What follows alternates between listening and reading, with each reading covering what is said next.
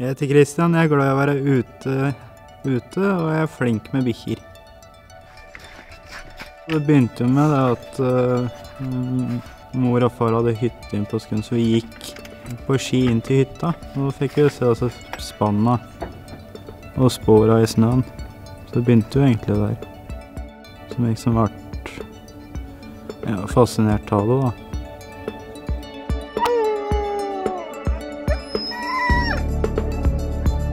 På skolen så hadde jeg problemer med å konsentrere meg i timene, så jeg gikk, eh, gikk ut.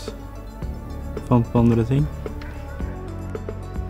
Eh, når jeg gikk på videregående, så ble det mye festing og mye henging og sånn. Det ble ikke så mye tid til noe annet, egentlig.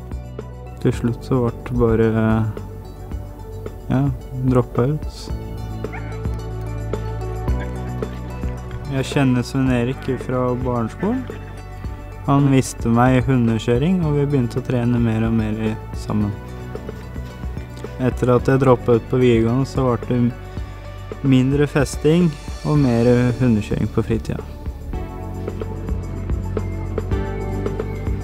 Etter at jeg droppa ut på videregående, så fikk jeg meg også en fast jobb på Gran Elvning.